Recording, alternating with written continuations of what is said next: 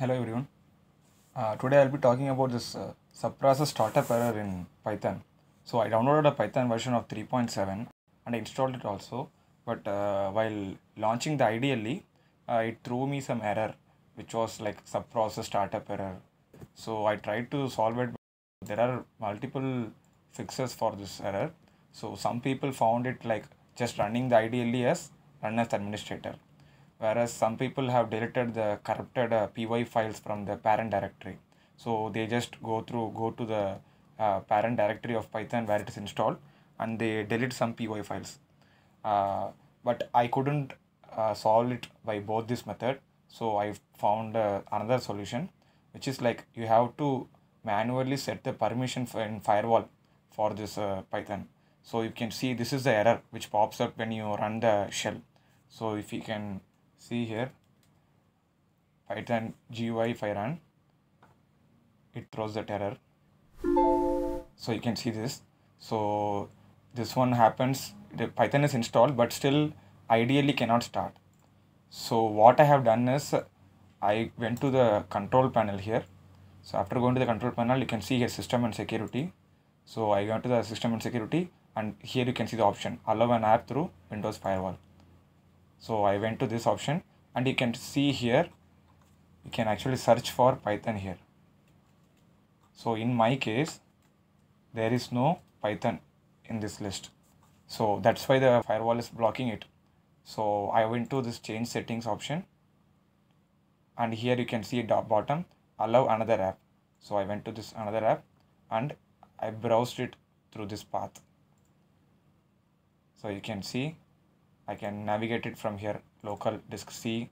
Then I installed it in the C drive only but some people have installed it inside the uh, user and other things. So you can all wherever it is you can search and go to that location. So mine is in the C drive only.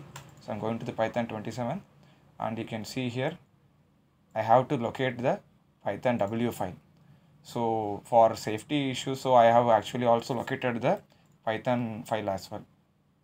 So open it just click on add.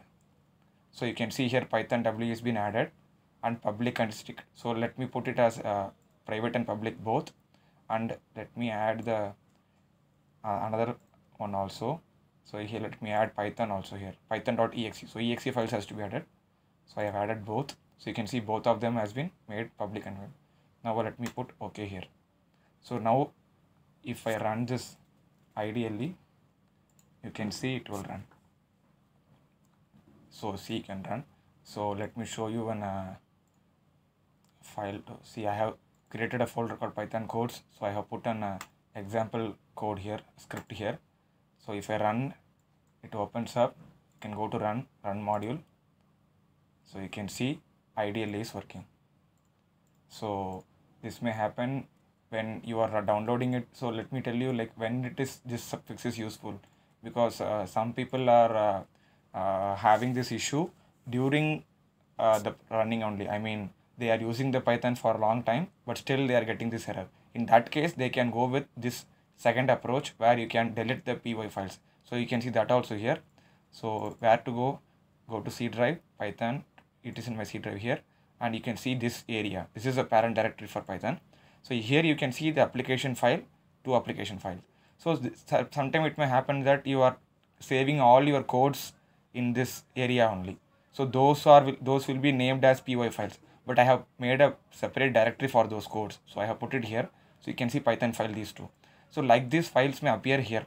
So those files has to be deleted or the which one is corrupted if you know the latest one that you can delete or change the directory of that file then it will run. So that that is taken care by the second option. But if you are installing it for the first time even then this error comes up I think it might it might be the uh, fault in firewall settings only. So better follow the step which I have mentioned. It should be fixed. So I have also mentioned the steps in this uh, uh, slide. So you can read through one by one and you can get it done. So thank you.